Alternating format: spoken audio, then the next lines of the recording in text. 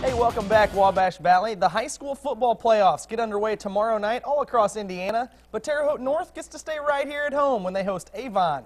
The Patriots only managed two wins this season, beating Northview and Lawrence North, but of course they play an extremely difficult schedule in the MIC. Get this, three teams from the conference are ranked in the top five in the state.